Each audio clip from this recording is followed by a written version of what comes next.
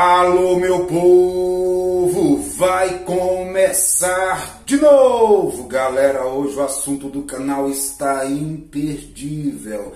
Você que ama a verdadeira música sertaneja, fique ligado no que eu vou revelar para vocês aqui. Porque hoje eu vou revelar aqui escancaradamente, tá? Porque aqui não tem papas na língua não, tá? Vou falar aqui escancaradamente a diferença de um cantor sertanejo, de um cantor genuinamente sertanejo, para aqueles cantores que ingressam na música sertaneja, entram para a música sertaneja por vários motivos. E já para começar aqui, já quero falar um dos principais motivos que muitos entraram para a música sertaneja, muitos que não eram sertanejos, não é sertanejo, mesmo estando dentro da música sertaneja, com o título de sertanejo, continuam não sendo ser sertanejo. Então, eu vou revelar para vocês aqui um dos principais motivos é que o nome sertanejo é muito comercial. Já para começar o negócio aqui, não existe outro gênero musical no Brasil que dá mais dinheiro do que a música sertaneja. Não existe. É claro, muitos outros gêneros deixaram muitos artistas ricos, né?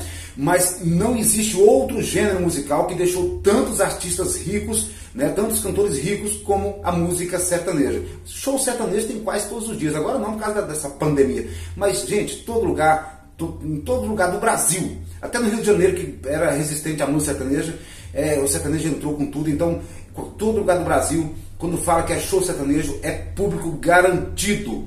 Então é por isso que é o gênero mais cobiçado, que muitos que nem sabem o que é sertanejo, não sabem nem o que é, é, é música sertaneja, nunca, às vezes não sabem nem o que é o tunique e o tinoco, e fala que é sertanejo justamente por causa disso aqui. E vou revelar para vocês, você vai saber agora mais ou menos aí, só pelo que eu vou falar aqui já vai entender, certo? Ah, mas o Amado Batista é um dos cantores mais ricos do Brasil e não é sertanejo. Deixa eu falar agora para você aqui. O Amado Batista o mesmo público que vai no show da Amado Batista é o mesmo público sertanejo, é o mesmo público que vai no show do Leonardo, do, do Eduardo Costa, do Zezé de Camargo Luciano. É, é, o Amado Batista não é aquele sertanejo, mas ele é sertanejo. O cara, se você conversar com o Amado Batista com duas, três palavras, você vai falar, pô, o cara é sertanejo mesmo. Ele é mais, ele é mais sertanejo, o Amado Batista é mais sertanejo do que o sertanejo universitário. Pode ter certeza do que eu estou falando. Um dia eu vi uma mulher comentar bem assim, em um vídeo aqui, tem uma uma orelha seca e comentou assim: É, eu nunca gostei de música sertaneja. Eu passei a gostar de música sertaneja por causa dos universitários. Eu respondi: Então você continua sem gostar de música sertaneja. Tá? Não estou generalizando, não. No meio da, da safra dos universitários vieram algumas coisas boas, entre elas Edglito Samuel, vieram aí, né, os, os menores lá são bons tal. Então, assim, galera, mas qual é a diferença? E olha, segura a onda e daqui a pouquinho vou colocar um negócio aqui que vocês vão. Gente, vocês nunca vão. vão vocês não nem imaginam o que eu vou mostrar para vocês daqui a pouquinho. Fiquem ligados. Eu vou colocar aqui um camarada falando aqui que eu, eu achei muito. Achei o máximo, né? Então, assim, galera, o cantor. A, vou falar de dupla. A dupla genuinamente sertaneja, gente, ela não precisa ser a dupla mais afinada do mundo. Ter, não, não é isso. O cantor sertanejo não precisa ter aquele vozeirão, aquela voz que canta, estremece e faz os telhados da casa subir para. Não, não é nada disso.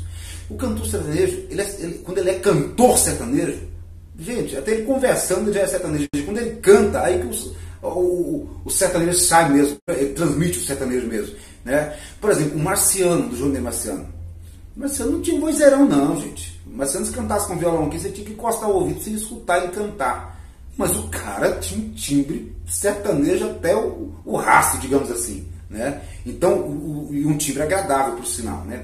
Então, para ser cantor sertanejo, não significa que tem que ser né, perfeito. Não. Né? Tem muitos aí que até semitona e tal. Né? Estamos aqui falando, gente, de, de, de ah, o cara para ser sertanejo então ele tem que ser o máximo. Não, tem que ser sertanejo.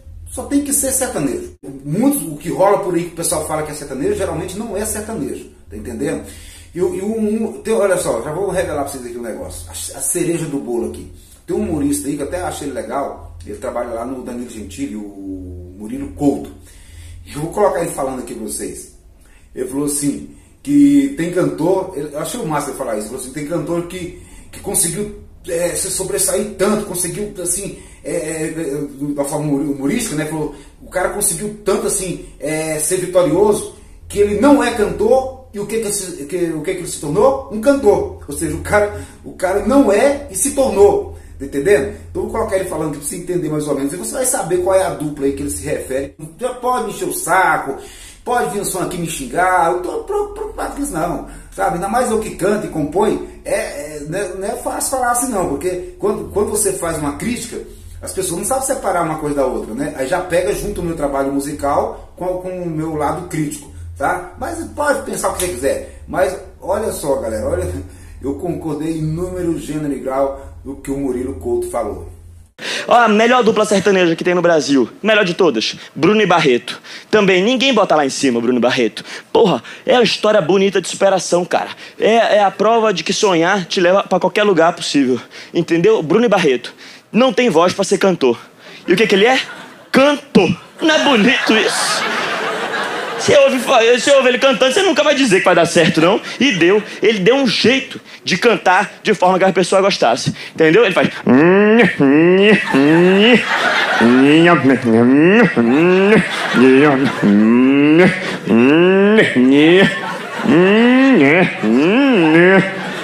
Ali seu sertanejo de raiz, né? É o próprio boi que tá cantando. Pô, se isso não é arte. Não sei falar, velho. Eu quero um dia de sossego, eu quero paz. Sentir o cheiro dela, o que eu nem me lembro mais. Já faz tanto tempo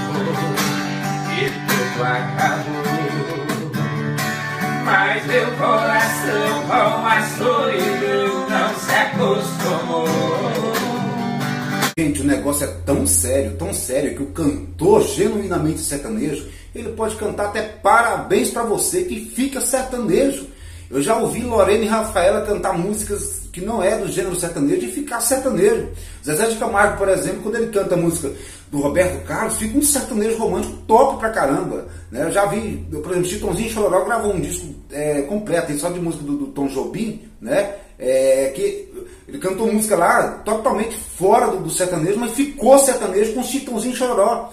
Aí está o exemplo que quando o cara é sertanejo, não precisa forçar a barra não, meu irmão. Ele não precisa falar arrastado para imitar sertanejo, porque, gente, tem uma turma da nova geração que dá nojo a gente percebe uma forçação de barra. O cara que quer falar mais ou menos igual o Leonardo, quer falar igual o Eduardo Costa, quer falar puxando assim pro sertanejo. A gente vê que é uma coisa forçada. Tá na cara que é forçado, parceiro. Você não é sertanejo, caramba. Então não precisa forçar a barra. A gente já tá vendo que você não é sertanejo. Fica uma, uma, uma, umas falas enjoativas, vocês estão entendendo? Aquela coisa assim forçada. Porque um sertanejo de verdade, gente, ele, é, é, é, igual eu falei, ele pode cantar qualquer gênero musical que fica sertanejo. Pode cantar um rock que fica sertanejo. É, isso é algo muito forte, gente. Saiba você que um cantor sertanejo de verdade, ele não se torna sertanejo.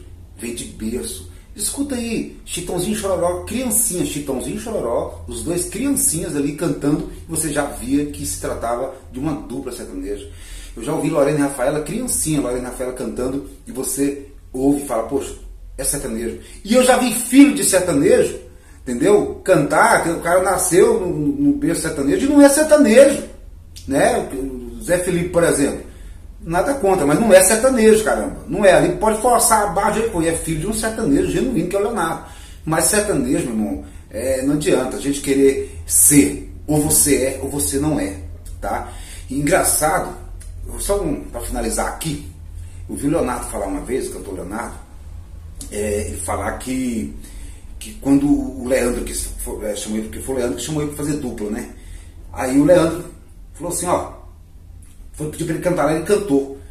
O Leandro falou assim, rapaz, é, vamos fazer uma dupla. Aí o Leonardo, ó, eu vi o Leonardo falar isso uma vez, né? Não sei se você vai lembrar, mas eu vi falar isso uma vez. Ele falou assim, aí começou, aí começou a dar uma ouvida no que estava fazendo sucesso na época, né, nos, nos cantores, e ele falou, rapaz, eu consigo. Só, se o Leonardo, naquela época, é, ouviu os cantores que estavam fazendo sucesso, as duplas que estavam fazendo sucesso naquela época, ia falar assim, ah, eu consigo, eu não sou mais ruim que esse pessoal não. É porque o cara é bom demais da conta, né? Então assim, e é por isso que eu até falo que hoje em dia é muito mais fácil alguém falar hoje é, que vai seguir uma carreira, que vai ser um cantor sertanejo, porque quando você ouve o que está tocando por aí, aí, aí dá pra falar, não, melhor que isso aí eu acho que eu consigo fazer. Inclusive eu acho interessante que quando eu faço críticas aqui a algum cantor da nova geração, aí sempre tem aqueles fãs orelha seca que falam assim, é, você tá achando ruim, faz melhor. Faço. Melhor do que muitos estão fazendo aí, que tá fazendo um barulho danado aí, eu faço. Eu faço. Pelo menos eu garanto pra você uma coisa. Eu não vou cantar gritando no ouvido de ninguém.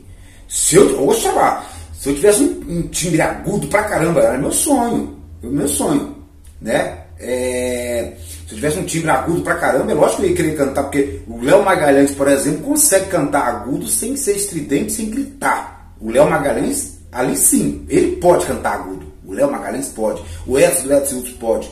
Mas tem muitos por aí que não pode, não deve. E canta agudo. Né? Quer ser cantor agudo sem ser.